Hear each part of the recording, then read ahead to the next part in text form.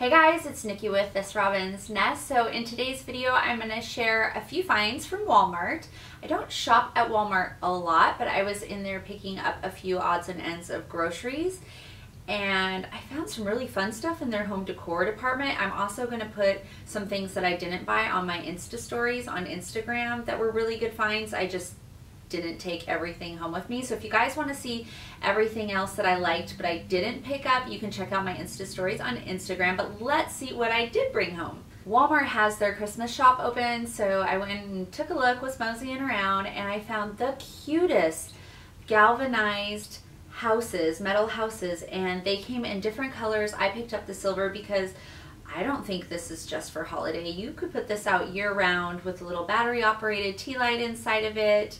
Um, it's just the sweetest thing. And if you get Pottery Barn catalogs in the mail like I do and you use them for inspiration, they have houses that look just like these and these are a fraction of the cost. So I think they were $5.97, but they are just so sweet. They have uh, scalloped edges around the side and little cutout windows and the little chimney and they're so very very sweet you guys. I would highly recommend that you pick one or two of these up for home decor that you can use all year round. So I ended up picking two of those up because I think they really are going to come in handy all year round.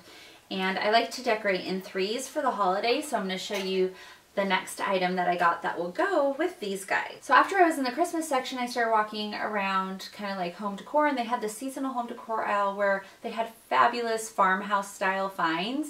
And again, I show that a little bit on my Insta stories. I'll probably post that the same day I'm posting the video. I picked one item up from there and it is a larger lantern, tin lantern by Better Homes and Garden, which is totally different than the Christmas shop. So this is about double the size and it's I want to say right around $14 and you could easily fit a Bath & Body Works three wick candle in there. I mean, this is going to be so pretty with a candle lit up inside or a battery operated one um, if you don't like to burn candles in your home. The main difference between this one and the smaller ones is this one seems a little bit more structured. It doesn't have the scallops so it's not necessarily as whimsical. It's a little bit more modern of um, a house I guess you would say. So yeah, I was pretty excited when I found all these little houses. They're so cute. This one actually reminds me a little bit of a schoolhouse for some reason, and I would say the Walmart is definitely on the right track with some of their home decor if you like the um, farmhouse, modern farmhouse style, industrial look. They've got some good stuff right now. Another great item that I saw in the Christmas shop that could actually be for year round is a magnolia wreath, you guys. They had this magnolia wreath. It was $12.97, I believe.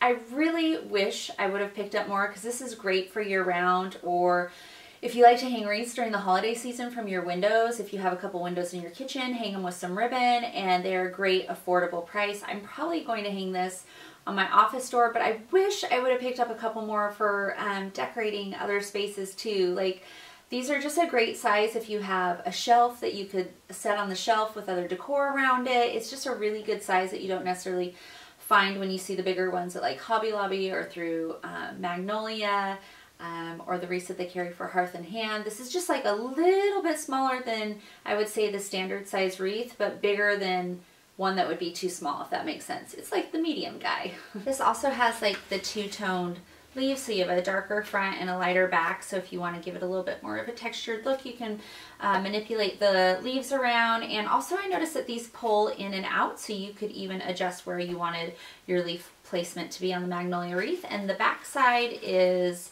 um, just like this little twig wreath that if you wanted to use it for something else you could take the leaves out and use it as a base. So I thought this was a great deal for $12.97 and I have a feeling these and the little galvanized houses will probably sell out pretty quickly.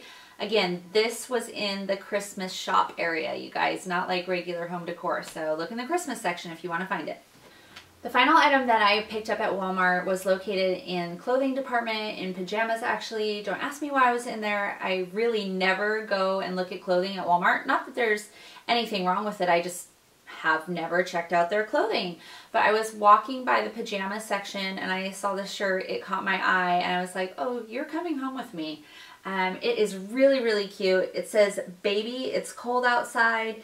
And it is the softest shirt I have ever felt. It reminds me of that brand at Nordstrom. I think Barefoot Dreams is what it's called. It's just super soft and cozy.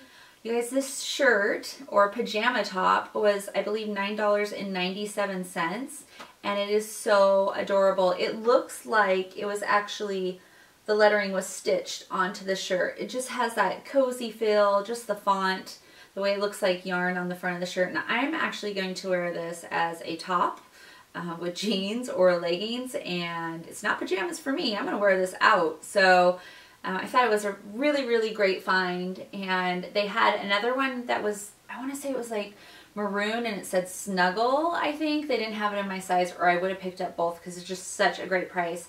Have you guys ever bought clothes from Walmart before? You'll have to let me know what you thought about the quality, the longevity, because um, I just have no idea. But those are the items that I found at Walmart recently. And you guys, I think I'm going to do some searching there again. I had a lot of fun. I don't know if it was just on a whimsy that I found such great things, but it kind of got me excited to go there um, and check out home decor and stuff. Other things that I've never looked to Walmart for um, in the past, maybe in the future. So hope you guys enjoyed today's video. I will see you in the next one. Have a great day. Bye.